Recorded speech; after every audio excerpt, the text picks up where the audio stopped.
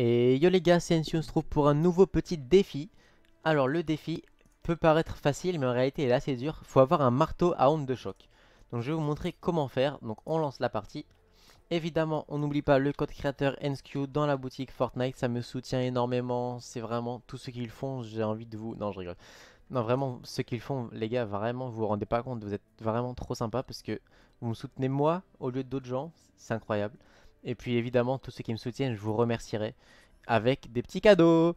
Je vais pas vous le dire maintenant, c'est pas encore Noël, mais vous inquiétez pas, ceux qui me soutiennent et qui m'envoient la preuve ben, sur, euh, sur les réseaux, sur Snap ou Twitter, ou Insta même, et eh ben vous aurez des petites récompenses à Noël. Je vous dis pas maintenant c'est quoi, mais vous allez voir. Hop, donc c'est parti pour la petite game et pour avoir notre marteau. Euh, j'ai mon skin Bambi, bon on a l'habitude parce que bah évidemment j'ai déjà fait les défis sur ma chaîne YouTube, et euh, non, sur, ma, sur mon compte principal, qu'est-ce que je raconte? Sur ma chaîne YouTube, oui, j'ai déjà fait certains défis.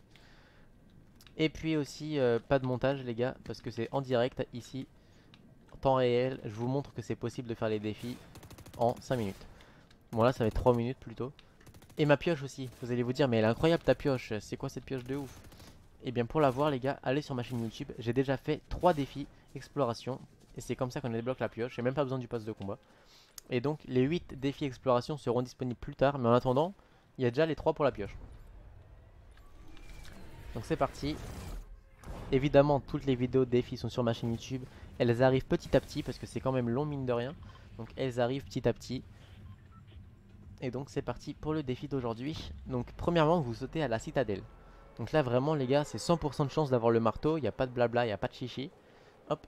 Je sais qu'il y a un PNJ, je crois, ils vend le marteau. Je suis pas sûr, hein, euh, mais normalement il y a un PNJ dans la map, ils vont le marteau. Mais c'est pas ce que je vais vous montrer aujourd'hui, parce qu'il y a plein de personnes qui n'ont pas assez de gold, etc. On n'est pas là pour farmer du gold ici.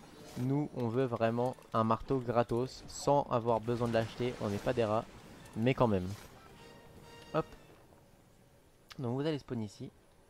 Hop. Regardez. Juste là.